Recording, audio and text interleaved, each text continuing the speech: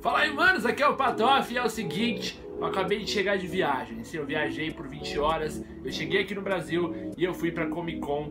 Isso aqui era pra eu fazer amanhã, mas eu tô muito ansioso, então eu vou fazer hoje o unbox do meu Ozob Jovens. Tem aqui na frente, ah, não tem aqui na frente, Ozob, o Bozo versão steampunk do, do, do, do Azagal, certo? O Ozob foi criado pro Azagal para jogar um RPG na infância dele, foi trazido pro Nerdcast RPG é, de. Eu esqueci o nome totalmente, eu ouvi ele a viagem inteira, mas enfim, Ozob, que é o grande personagem aí do Azagal. E cara, quando eles anunciaram que eles iam vender um busto do Ozob lá na Nerd Store, eu pirei, eu falei, mano, eu preciso comprar, eu voltei de viagem, eu fui que nem louco lá para não perder a chance. É uma edição limitada, são 500, 500 unidades apenas numeradas.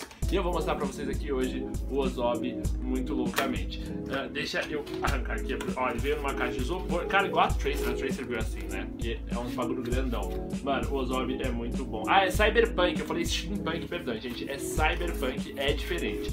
Bom, vamos lá. Ah, quem fez foi a, Iron Studios e tá vendendo só agora na Comic Con, é, na CCXP, né? Na Comic Con Experience, que está rolando aqui em São Paulo. E foi muito bom. Caralho. É uma caixona de isopor, obviamente sai os lobbies. Galera, eu tô gravando no celular, porque minha câmera tá sem bateria da viagem. A minha outra câmera tá sem bateria porque a Giovana fez a cobertura da Comic Con, que o link vai estar aí na descrição. E eu tô usando agora o celular pra gravar isso aqui. E, e vamos que vamos. Tem esses durex são muito difíceis de soltar. Ou eu, gravo ou eu te ajudo.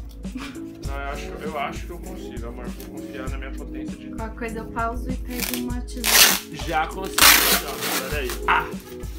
Chegou a hora? Chegou a hora de abrir, eu acho que agora já vem, hein? Eu acho que agora já vem. Com uma granada no lugar do nariz de palhaço.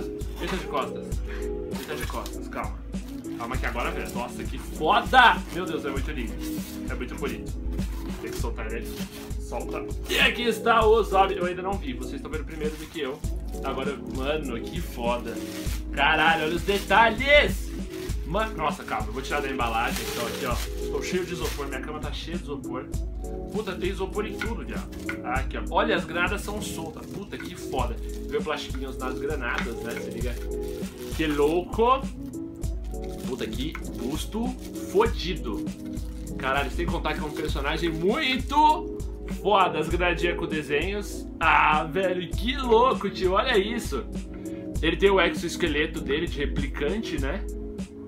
Que foda. Tem todos os detalhes. Aqui está o número de série TMA, TMA1A, é o número de série do meu.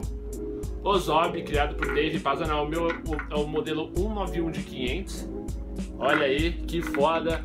No lugar do nariz, uma granada.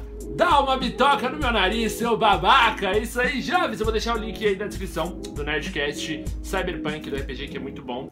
Uh, e muito foda, olha aí. Peguei, acho que uma horinha de fila para conseguir comprar ele, mas valeu a pena, porque é muito bonito mesmo. Beleza? Então é isso aí, propaganda de graça pro Jovem Nerd pro Zagal, mas valeu, porque que bang. Nossa, ficou muito foda. Os detalhes são muito foda. A pele dele tem ruga, velho.